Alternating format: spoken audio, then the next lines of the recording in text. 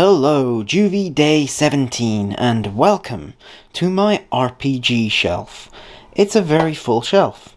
It's full of stuff to do with RPGs, and I'm gonna go through it because I couldn't think of anything else for my video today.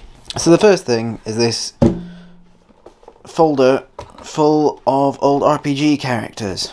I've definitely gone through them in a video before, so that's good.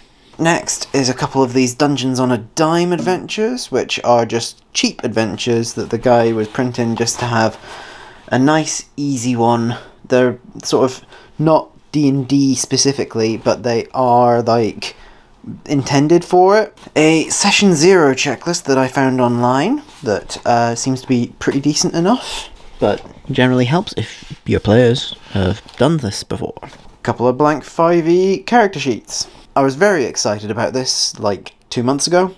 Probably going to get to it at some point.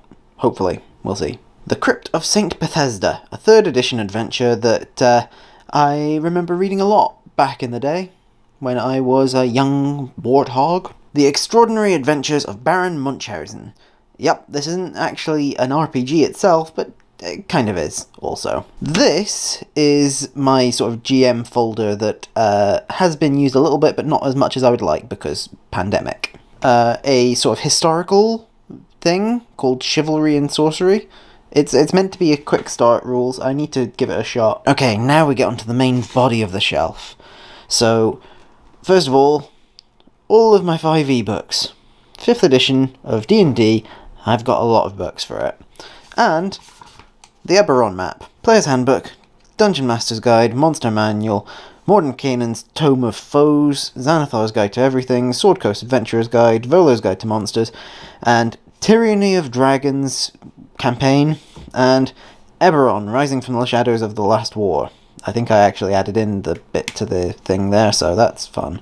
Uh, third edition adventure called Scourge of the Howling Horde. I have run this before, didn't go very well. And then we go for a different system entirely. So we've got Numenera, this is on the Cypher system, and I've been wanting to give it another shot at some point. I have played it a bit, but uh, other people were running it. A Numenera adventure, Ashes of the Sea.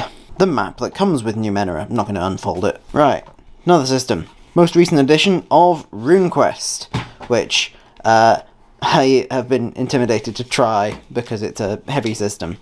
Also, the Bestiary to go with it, and a GM screen pack to go with it as well. 6th edition Call of Cthulhu.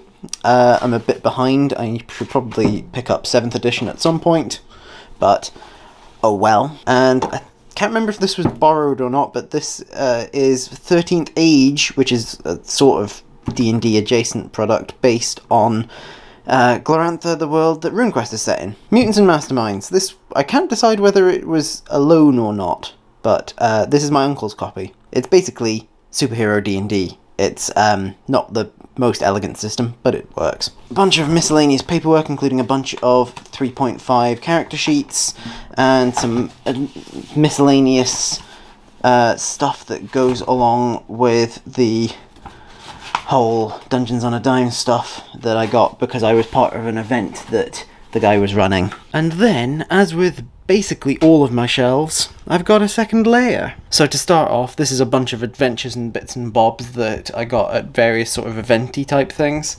long time ago. A third edition sourcebook called Ghost Walk, which I still maintain I enjoyed a lot, despite having never gotten to play it. A guide for making shopkeepers and just random stuff to do with that. A Munchkin jokey thing called the Monster Manual 2.5. I did run an adventure involving Santa from this book. Then I've got a bunch of 3 and 3.5 based stuff, so I've got the Player's Handbook, the Dungeon Master's Guide, the Monster Manual, the Planar Handbook, the Psionics Handbook, the Deities and Demigods book, uh, Explorer's Handbook for 3.5 Eberron, a source book from uh, that I got from a uh, teacher at school that was based on the Demon Wars books uh, which I do kind of fancy trying out again at some point, or at least upskilling it.